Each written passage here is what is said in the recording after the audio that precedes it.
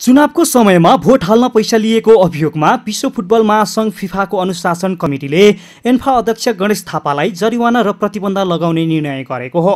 फिफाले ANFA अध्यक्ष थापाले सन् दुई हजार नौ र दुई हजार एघारमा भएको फिफाको कार्यकारी समितिको चुनावको समयमा प्रलोभनमा परेको र अन्य उम्मेद्वारहरूबाट भोट हाल्नका लागि व्यक्तिगत र पारिवारिक कारण देखाउँदै रकम लिएको अभियोग लगाएको छ। फिफाले गत सोमबार भ्रष्टाचारको प्रमाणसहित अखिल नेपाल फुटबल सङ्घ एन्फाका अध्यक्ष गणेश थापालाई दस वर्षसम्म कुनै पनि खेलकुद गतिविधि गर्न नपाउने र एक्काइस लाख जरिवाना सहित कारवाही गर्यो। थापालाई फिफाले कारवाही सहित निलम्बन गरेपछि एन्फाले कार्यवाहक अध्यक्षका रूपमा नरेन्द्र श्रेष्ठलाई जिम्मा दिएको छ। गत सोमबार चाहिँ अब हामीलाई एउटा मेल आएको छ होइन एफसीबाट चाहिँ आएको छ र फिफाबाट पनि आएको छ।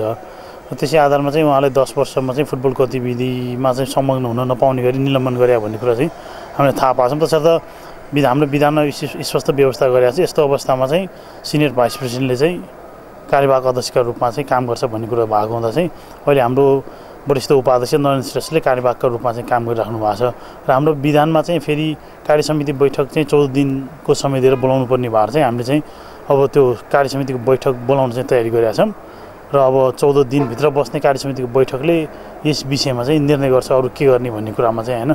त्यसो त असन्तुष्ट पक्षले एन्फाले विधान विपरीत रहेर कार्यवाहक अध्यक्षको जिम्मा दिएको दावी गरेको छ।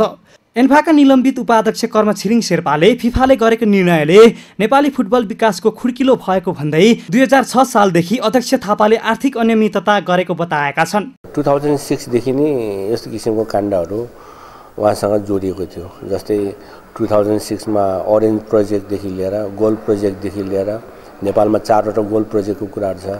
त्यसपछि गएर सुनामी प्रोजेक्ट भन्ने छ। त्यो अब यो चाहिँ अहिले अहिले डिसिजन चाहिँ केमा गऱ्यो भन्दाखेरि फिफाको चाहिँ एएफसी र फिफाको चुनावमा चाहिँ दुई पटक चाहिँ दुई लाख पन्ध्र हजार डलर लिएको केसमा चाहिँ अहिले चाहिँ फिफाले चाहिँ फिफाको इथिक्स कमिटीले निर्णय गरेछ। तर जे भए पनि ढिलै भए पनि यो नेपाली फुटबलको लागि चाहिँ मैले भन्ने गरेको छु एउटा जस्टिस भएको छ। भ्रष्टाचारको आरोप लागेका अध्यक्ष थापालाई नेपाल सरकार र सम्बन्धित निकायले भने सत्य तथ्य थाहा नभएको भन्दै अहिलेसम्म कुनै कारवाही गर्न सकेको छैन।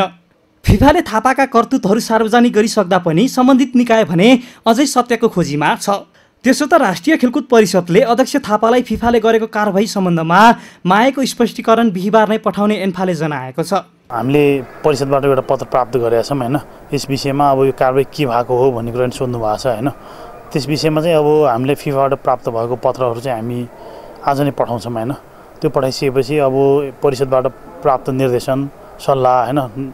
हाम्रो मन्त्रालयबाट प्राप्त निर्देशनहरूलाई पनि हामी चाहिँ सम्मान गर्दै चाहिँ हाम्रो विधानअनुसार चाहिँ हामीले चाहिँ हाम्रो कार्यक्रमहरूलाई चाहिँ हाम्रो यस विषयमा चाहिँ निर्णयहरू चाहिँ गर्छौँ हामी। विक्रमसम्म दुई हजार बाहन्न सालदेखि एन्फा अध्यक्ष रहेका गणेश थापाको भ्रष्टाचार प्रकरण नौलो भने होइन।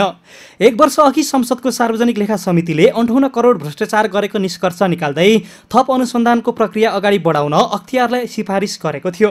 तर अख्तियार दुरुपयोग अनुसन्धान आयोगले मुद्दा तामेलीमा राखेपछि अध्यक्ष थापा एन्फा फर्केका थिए। सगरमाथा टेलिभिजनका लागि क्यामेरा पर्सन राजेश थापा मगरका साथमा सरोज तामाङ।